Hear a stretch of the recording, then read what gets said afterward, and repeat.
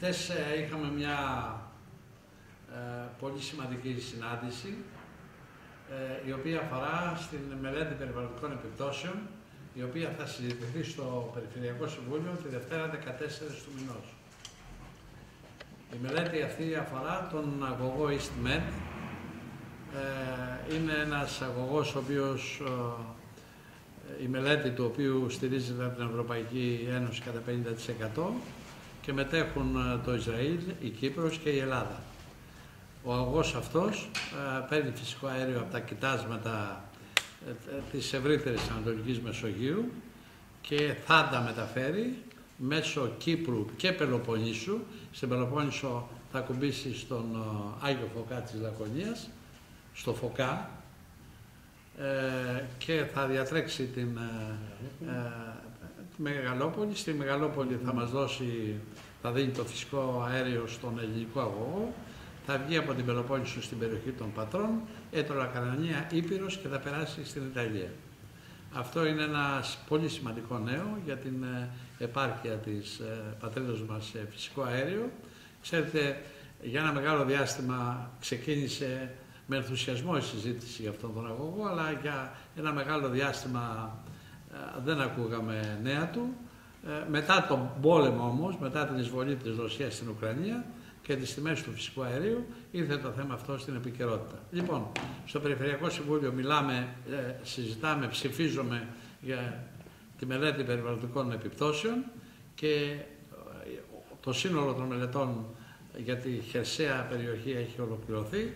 Από εκεί πέρα το προχώρημα του έργου συνδέεται με την Ευρωπαϊκή Ένωση και τα κράτη τα οποία συμμετέχουν. Το βήμα όμως αυτό είναι πάρα πολύ σημαντικό. Ε, σήμερα ε, επίσης είχαμε μια πολύ ε, σημαντική συνάντηση η οποία αφορά στο μετάξι στην ε, περιοχή της Πελοποννήσου, δηλαδή την ενασχόληση με τη μεταξουργία και πάλι. Το θέμα αυτό το έχουμε εγκαταλείψει πολλές δεκαετίες, ιδιαίτερα η Νότια Πελοπόννησο, η Μεσσηνία και η Λακωνία, όπου ε, το μετάξι ήταν ένα από τα βασικά εισοδήματα εκεί του κόσμου. Ε, στη συζήτηση αυτή, η οποία έγινε σήμερα, με, μετήχε ε, ότι σημαντικότερο και καλύτερο έχει η Ελλάδα ε, στο χώρο της ε, ε, παραγωγής μεταξιού και ενδύματος. Είχαμε αντιπροσωπεία από το Σουφλί, δηλαδή βιομηχάνους από το Σουφλί, οι οποίοι εναγωνίως αναζητούν μετάξι, πρώτη ύλη, ε, από κορυφαία εμπορικά καταστήματα των Αθηνών και βεβαίως και από το Σύλλογο Παραγωγής Ενδυμάτων στην Ελλάδα. Η περιοχή μας προσφέρεται εξαιρετικά. Χρειαζόμαστε ε, και εναλλακτικές καλλιέργειες εκτός από τις ελιές που έχουμε και τις πορτοκαλιές και την αμπελουργία. Ε, Προχωράμε τώρα σε σύνταξη σχετικής μελέτης, γιατί τα βήματα θα είναι εξόχως προσεκτικά.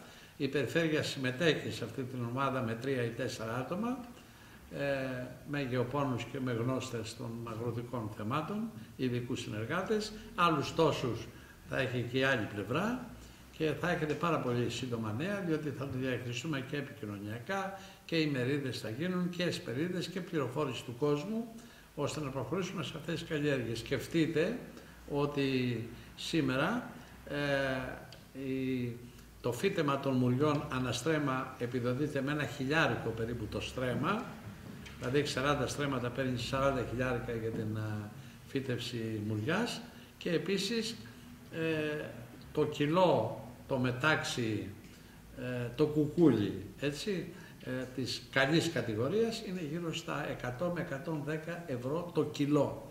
Είναι μια καλλιέργεια η οποία είναι εξόχως αποδοτική, ιδιαίτερα για τη δική μας περιοχή. Ε, βεβαίως τα βήματα όπως σας είπα θα είναι πολύ προσεκτικά, η καθοδήγηση του κόσμου επίσης, να πάμε σε μια καλλιέργεια η οποία θα δώσει εισοδήματα στον κόσμο και στην ε, ε, περιοχή με οικονομική δύναμη. Ε, τους εξηγήσαμε τις μεγάλες ευκαιρίες που έχουν για εγκατάσταση και βιομηχανιών και στη Μεγαλόπολη και στην Τρίπολη και στην περιοχή του Μελιγαλά. Είναι ένα θέμα που θα είναι συνεχώς από εδώ και πέρα στην ε, επικαιρότητα. Θα το συζητάμε και θέλουμε και τη δική σας βοήθεια ώστε αυτή η καλλιέργεια να ξαναγυρίσει στον τόπο μας που τον λένε και μοριά, έτσι, γιατί συνδέεται με τις συγκεκριμένες καλλιέργειες. Ε, Να σας πω επίσης ότι σήμερα πήρα τον πίνακα με, τα, ε, με την πορεία του ΣΔΙΤ, της διαχείρισης των απορριμμάτων και την ανταπόκριση των Δήμων. Ε, κάποιοι Δήμοι συνεχίζουν να επιμένουν ε, να στέλνουν τα σκουπίδια σε εμάς για να γίνεται η διαχείριση χωρίς να πληρώνουν τα χρήματα τα οποία πρέπει να πληρώνουν. Ξέρετε, υπάρχουν και τα ανταποδοτικά τέλη. Ξέρω ότι υπάρχει ε, κρίση, υπάρχει ε, το ζήτημα της ενέργειας το οποίο έχει γονατίσει τους Δήμους κυριολεκτικά.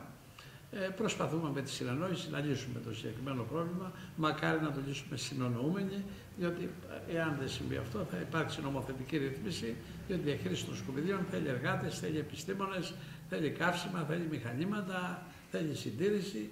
Κάποιος πρέπει να τα πληρώνει αυτά. Και, εν πάση περιπτώσει, την υπογραφή μας πρέπει να την τιμούμε και η φεραγγιότητα στην αυτοδιοίκηση και στο κράτος. Αλλά για μας μιλώ, είναι ένα κρίσιμο ζήτημα.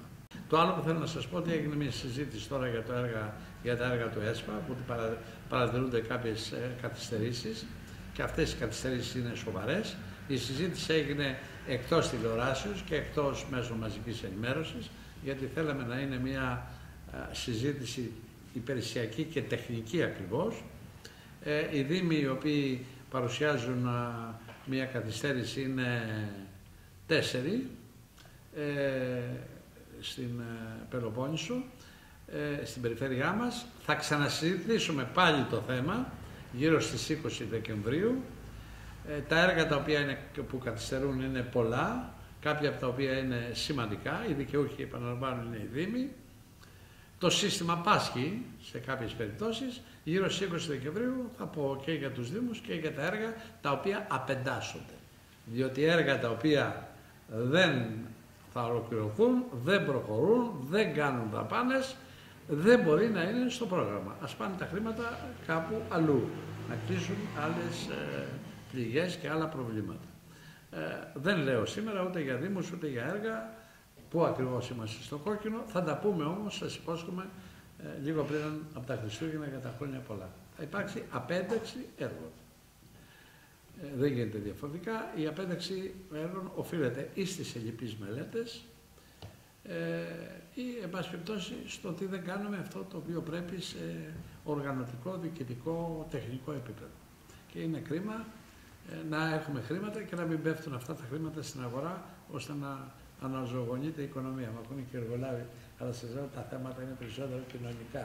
Δεν είναι για δρόμους και τεχνικά. Αυτά τα κάνουμε γρήγορα τους δρόμους. Εκεί που δεν πάμε καλά είναι τα κοινωνικά. Με συγχωρείτε, γελάω κιόλας. Έχουμε ευπαθείς ομάδες κοινωνικές. Έχουμε το πρόβλημα με τους Ρωμά. Έχουμε ζητήματα πρόνοια, τα οποία είναι μείζονο σημασίας. Εκεί χρειάζονται ειδικές προσπάθειες οι οποίες ε, δεν γίνονται στο βαθμό που θα έπρεπε. Πέρυσι 20 Δεκεμβρίου θα τα πούμε.